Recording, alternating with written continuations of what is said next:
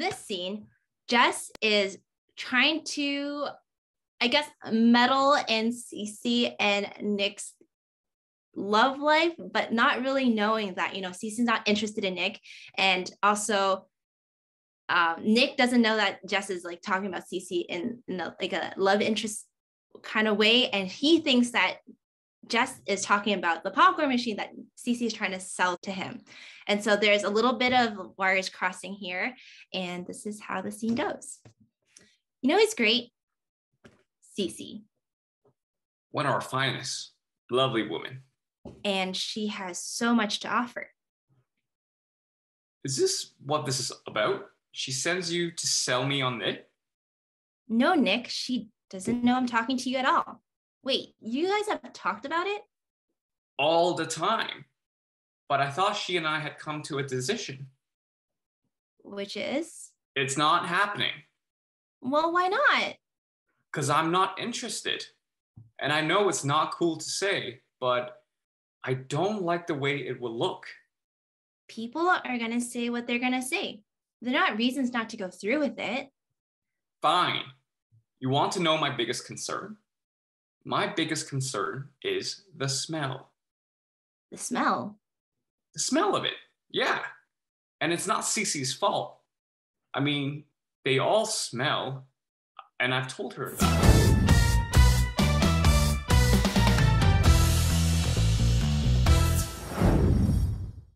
Hey, you know who's great? Cece. Yeah, one of our finest. Lovely woman. And she has so much to offer. Is that what this is about? She sends you to sell me on it. No, Nick, we haven't talked about this at all. Wait, you guys have talked about this? All the time. And I thought she and I had made a decision. Which is? It's not happening. Well, why not? Because I'm not interested. I know this is not cool to say, but I just don't like the way it will look. People are going to say what they're going to say. They're not reasons not to go through with it. Fine. You want to know my biggest concern? My biggest concern is the smell. The smell? Yes, the smell of it. And it's not Cece's fault. I mean, they all smell. And I've told her that. You told Cece you think all women smell like we have. Wait, wait, wait, wait. Don't make this a feminist thing. I'm not making this a feminist thing. How? They smell terrible. It's common knowledge. I thought your biggest concern would be how it affected the people around you. I mean, sure. I guess a bunch of old drunks will want to grab at it. But if your biggest concern is the smell, I'm sure that's highly manageable. I guess there's special solvents and soaps. But I haven't really read much on it. You know, but you really have to get in there and scrub it out. It's disgusting. You know, because of all the daily wear and tear. Oh, oil and grease just cooking in there. It's enough to make a man bar thinking about it. I mean, they get really hot. Um, I know what temperature they get. But if I'm being honest with you, and I haven't told Cece this, but I do have good memories associated with the spell. Ball games, circus, hanging with my dad. Listen here, you idiot. I've known Cece a very long time, and I can promise you that the smell will not be a problem. Well, that's easy for you to say because you're not the one who's to remind her to clean it all the time. I promise you that if the smell becomes a problem, I will remind her. Well, if you remind her and she doesn't do it, I don't want you sneaking around and cleaning it for her. Nick, I'm a good friend, but I am not that good of a friend. All right, whatever you say. Hey, don't tell Cece that we talked. She doesn't want to get involved. Of course she does. But she didn't think you were into the idea, okay? She really values your opinion. Well, what if you two had a real talk? You know, just the two of you outside the bar. Fine. We'll talk. Just the two of us outside the bar. I'm proud of you, Nick. Just make sure, though, she comes and makes her case about facts and figures. And no more of this, oh, come on, Nick. It's gonna taste so yummy crap.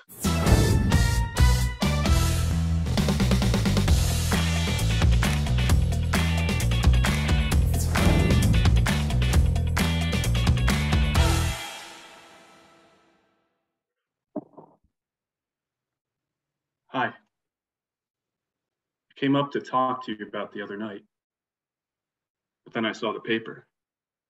And well, actually, I'm kind of embarrassed about it. But since it concerns you, I thought I ought to bring it up in person. What? What? Oh, the earplugs. Well, I can't go through the whole thing again. It's sufficient to say, come to make up. And as an added inducement, I have all kinds of news. Can I come in? I guess so. Um, just a minute. Do I have my nightgown on? No, I don't. Would you mind turning around for a second? On a second thought, never mind. This is such a corny line anyway. I'll turn around myself. Come in. Have you seen the paper? Rusty, you mean? Mm-hmm. Yeah, I know all about it. Certainly had him pegged wrong, didn't I?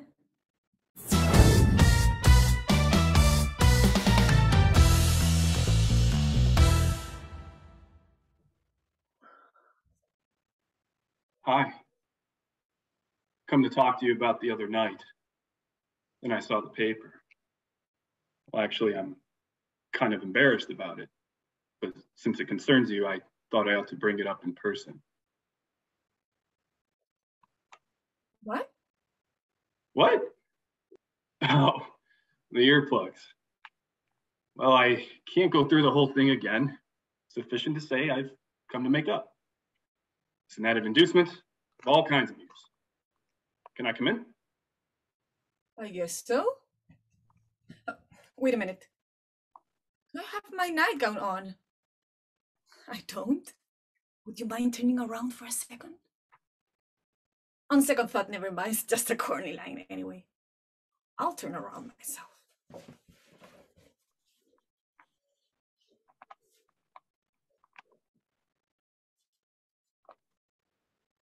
Come in.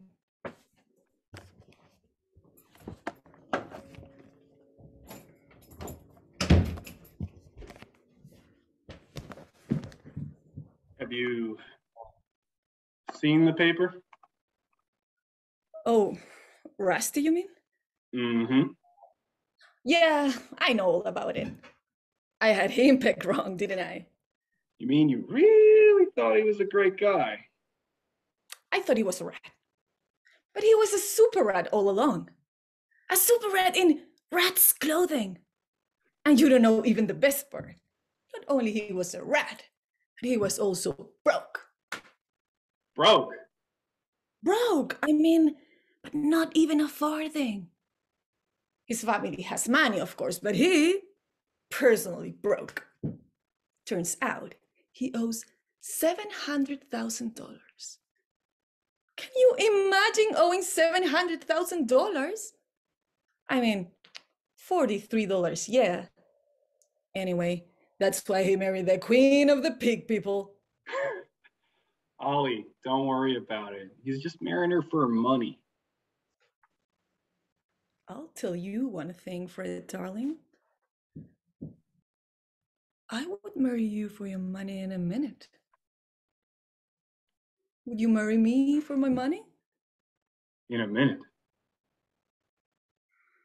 Well, it's pretty lucky that none of us is rich, hmm? Yeah. Fred, darling, I'm so glad to see you.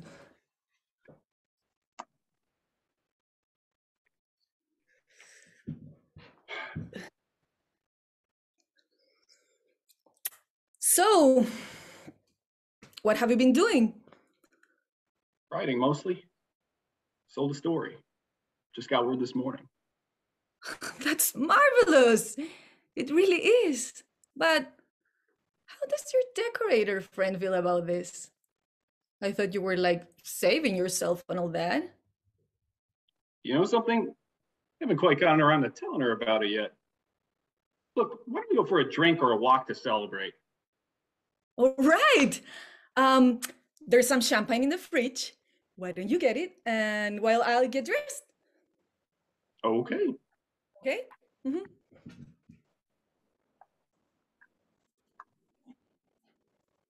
You know something? I don't think I've had champagne before breakfast before. With breakfast on plenty of occasions, but never before before. Well, I have a wonderful idea. We'll spend the day doing things we've never done before. And we'll take turns. First, something you've never done, and then me. Of course, I can think of anything I've never done before. Whoa! Whoa!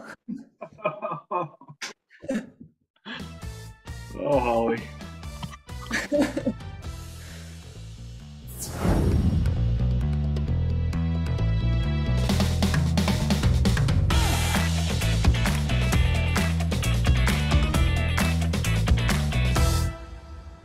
Do you want me to move? Not anymore. What's up? I don't have time to talk. But you haven't heard what I was going to say. See? Now we've already talked more than I wanted to. Well, I did give you my seat. I think that gets me one question. Listen, Diner guy, Sean, Sean, I'm flattered, really. Very often I am happy to meet new people, but today, right now, right here, I can't talk. I understand. I do. So, what if I do the talking for both of us?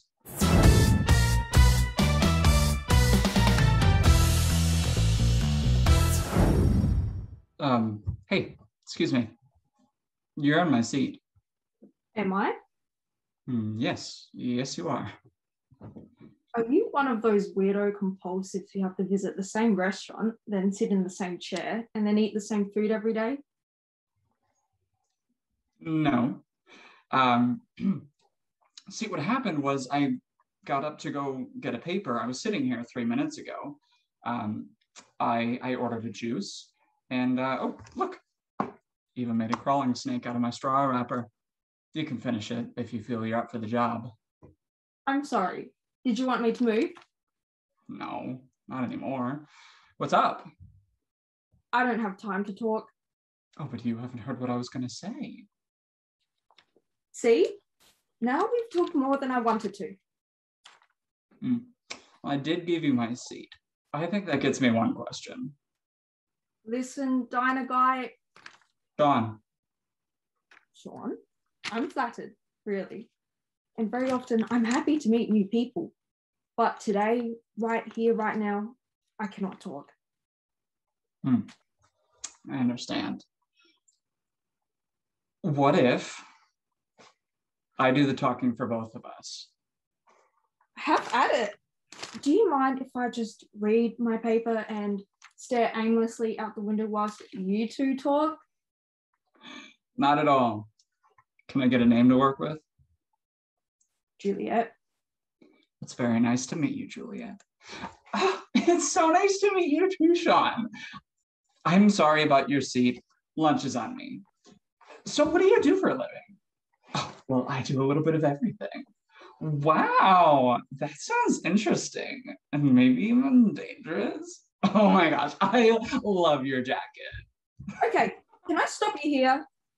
First off, in your portrayal of me, I sound like I'm in the eighth grade. Oh, well, in my portrayal of you, you only have an eighth grade education. okay, all right. So we'll smarten up a little bit. College, probably top your class. Graduated early. Okay. I'm I'm new to town. I don't know too many people. I do know my cats though. The gray one is very affectionate, but the white one makes me work much harder for the attention. Oh, what about your family? My family's amazing. My parents have been together for, what is it, 30 years now? Okay, do we know each other?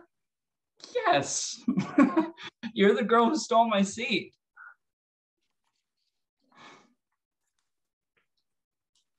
Mm, okay. You are a cop. I'm not a cop. The paper, the vantage point. You you got all defensive when Scary Guy walked in. You're totally a cop.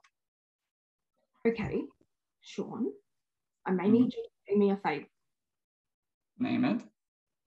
Duck.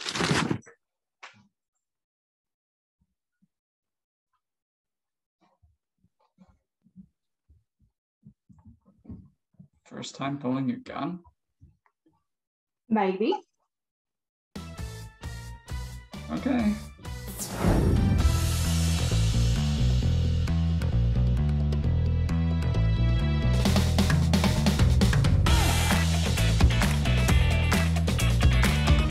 from Wedding Crashers. It's where um, John Beckwith goes and meets Chaz, who is kind of the founder of the whole philosophy of crashing weddings. So, um, my best friend Jeremy, who I always crash weddings with, is actually getting married.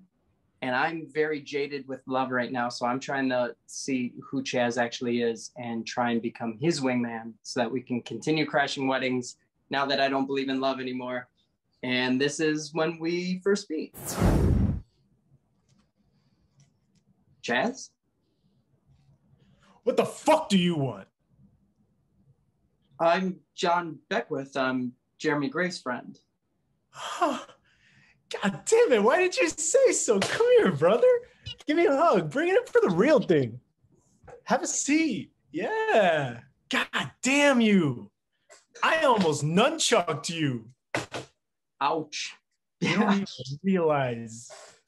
Yeah. So, uh, is this your place? No. No, no. I live with my mom. Oh, Yeah. You hungry? Hey, Ma! Can we get some meatloaf? no, Chaz. I Ma! actually had a, I had a bite on the way over. So, thank you. You sure? Yeah. So, uh, how's my protege? Jeremy, boy, he, uh, Yeah, J Bone. J Bone, he, uh, he's actually getting married. What? Yeah. What an idiot. What a loser. Good, good. More for me and you.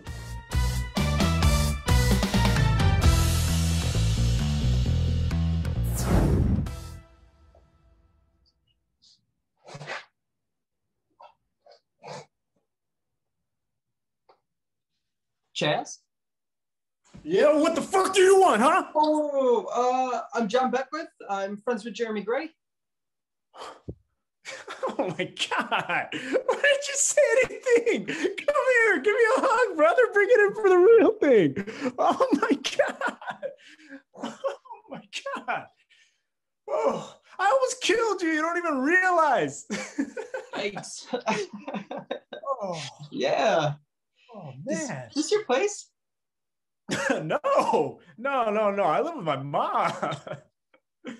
Oh, hey, You want some meatloaf? Mom, can we get some meatloaf? Chaz, no. I uh I had a bite on the way over, so I'm good. Thank you. Right. Yeah. Uh, well, hey, how's my protege doing, huh? Jeremy? Uh, boy, he's uh J Bone. J Bone. He's um believe it or not, he's actually getting married. What? Yeah. Oh, what an idiot! What a loser! Good, good. More for me and you, huh? Yeah, more for uh I gotta go. Okay, baby. Yeah, you do what you have to. Okay.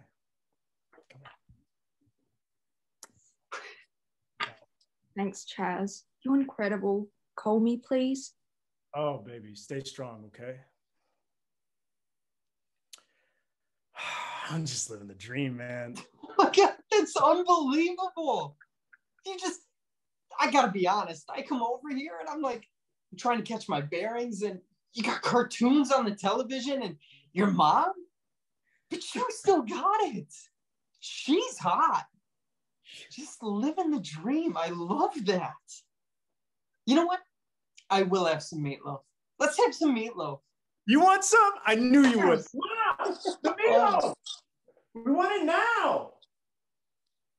God, what is she doing back there? I never know what she's doing back there.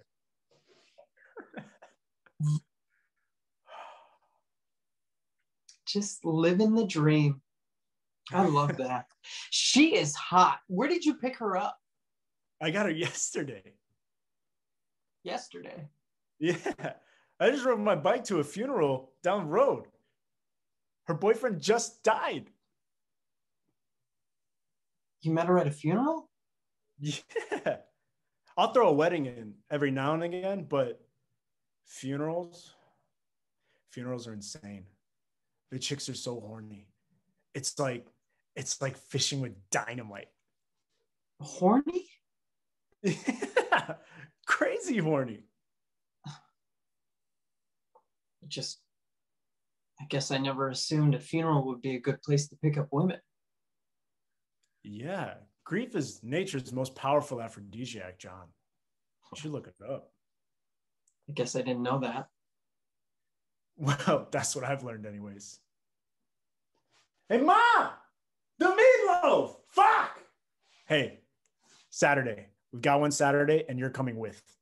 Look, Chaz, I'm sorry. I, I don't mean to judge because you're like an innovator, but there's no way I'm ready for that.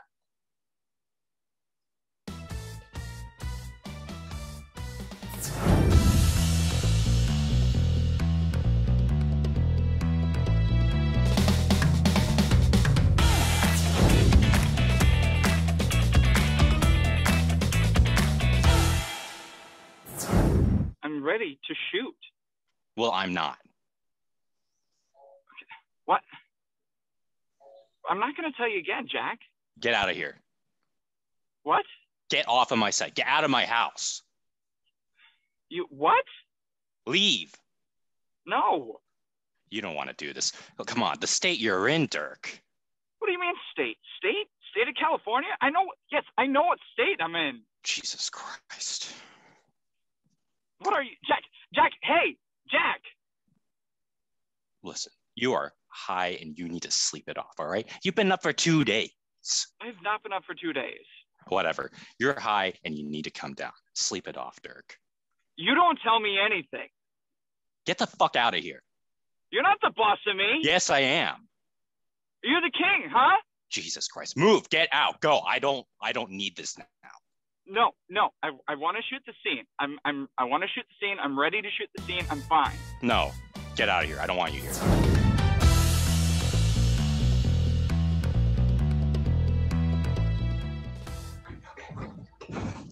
Jack, ready to shoot. All right, we need 20 minutes. No, I'm ready now. It's got to be now. 20 minutes. Fuck, hey, no, Jack, Jack, look, my cock is ready. I want to, I want to fuck. Let's go. Oh, okay, yeah, let me go try. No, I can't. All right. You get me? You, you trying to start something here with me, Dirk? I want to start fucking. So who's it gonna be? Oh, okay, all right. Listen to me. You need to settle down, all right? So just go inside, get yourself a drink, and all this off, all right? You understand me? I said I'm ready to shoot. Okay, well, I'm not. I'm not gonna tell you again, Jack. Get out of here. What? What? What? Get off my set. Get out of my house.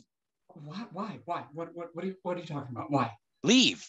No. Okay, oh, you don't want to do this. You don't want to do this, Dirk. I mean, look at you. The state you're in right now. I'm sorry. State? State? What? What do you mean state? State of California? I know where the fuck I am, Jack. Oh, Jesus Christ. Jack, Jack, Jack, Jack. Okay. Hey, hey, hey. Come on, come on. Let's. Okay, listen to me. Listen to me, all right? You're high and you need to sleep it off, all right? You've been up for two days. No, I haven't been up for two days. Whatever. You're high and you need to bring it down, all right? So just sleep it off, Dirk. That's it. No, you don't tell me anything. Get the fuck out of here then. You're not the boss of me. Yes, I am. Oh, you're the king, huh? Oh, Huh? get the fuck out of here. Go. No, I, I don't need this. I don't, I don't need I, this. want, I want right? to shoot the scene. I'm ready to shoot the scene. I'm fine. Okay. I don't want you here. I don't want you here. Look, my cock is ready. I want to fuck. Let's go. You listen to me now, kid. Oh, don't you dare call me a kid. I will fuck you up. You want to see me kick some ass? You want to see me kick some ass? I will beat you, Jack. Come on. What the fuck are you doing? Uh, Look. I am the biggest star here. That's the way it is. I want to fuck, and it's my big dick. So everybody get ready right fucking now. Not anymore. Oh, what do you mean, not anymore? You dick.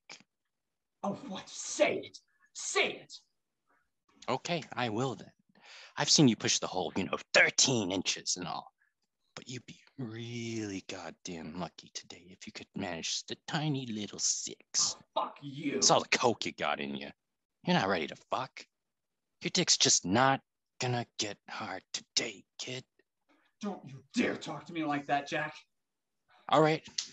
How's this then? You're fired. All right. You don't want to listen to me? You're fired. Now get out of my set. Get out of here. What? What is that? What? What is that? Just leave, Dirk. That's it. Just leave. No, my cock is ready. I- You want to see it? Huh? You want to see my big fucking cock? You, you know what? Fuck this. I don't need this. Fuck you. Fuck you. Fuck you. Fuck all of you. You're not my bosses. No one is the king of me. I am the king of Dirk. And you're nothing without me, Jack. Fucking nothing. Fuck you. Damn.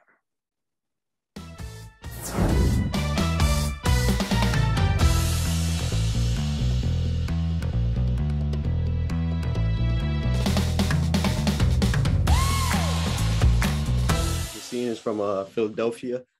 I will be playing Miguel. Uh, Frank will be playing Andrew. Uh, the scene is basically uh, Andrew doesn't want to take his uh, AIDS treatment, so I guess I'm trying to convince him otherwise.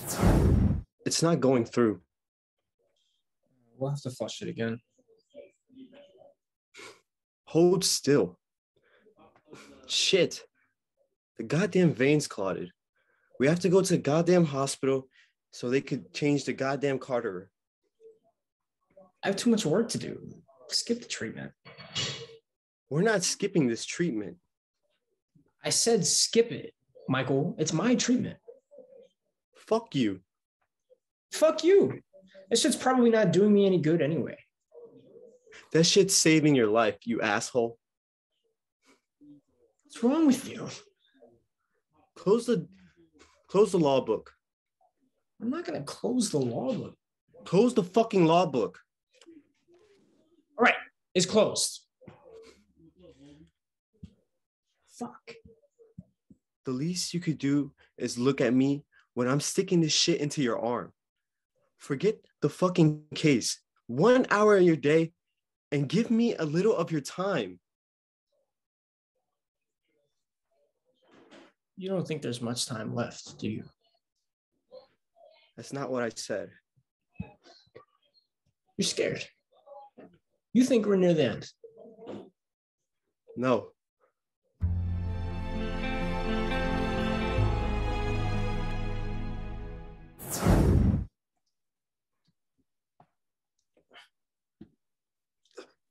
it's not going through.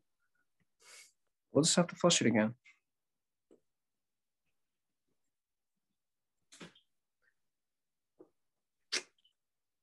Ah, hold still. Shit.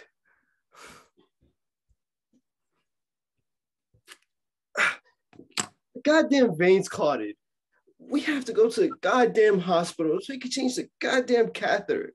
Well, hold on, hold on. Hospital? I have way too much work for that. You know what? Let's just skip the, the let's just skip the uh, the treatment for tonight. It's fine. We're not skipping this treatment. Um, it's my treatment, Miguel. I said skip it. It's fine. Fuck you. Fuck you. This shit's probably not doing me any good, anyways. That shit is saving your life, you asshole. What's wrong with you? Close the law book. I'm not gonna close the law book. Close the fucking you. law book. Right. It's closed. Jesus Christ. The least you could do is look at me. Why I'm sticking this shit into your arm? Forget the fucking case. Just an hour a day. And give me a little bit of your time.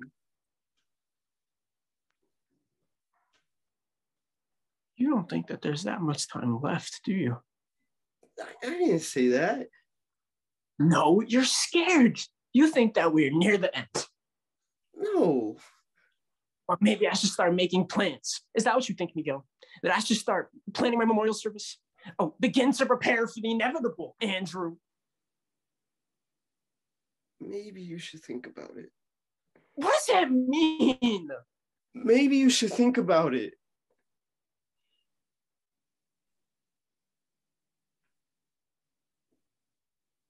I'm not going to die. That's right. We're on the positive plan. You don't have a fatal disease. You have a manageable illness. Well, well, what do you expect me to do, Miguel? Give up? Let this thing turn us into victims? Then what are we, Drew? The winners? Ladies and gentlemen, the first prize of AIDS goes to Andrew Beckett and his lover Miguel. Excuse me.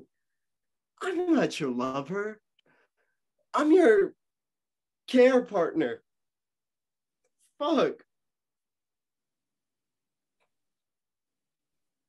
I'm not ready to die. Do you think I'm ready for it? I fucking hate this. I'm not a murderer. Every goddamn part of this.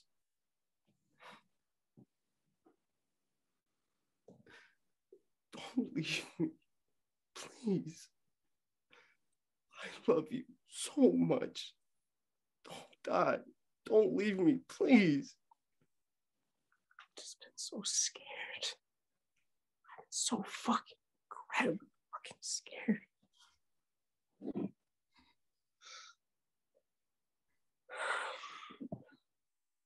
There's only one thing that we can do.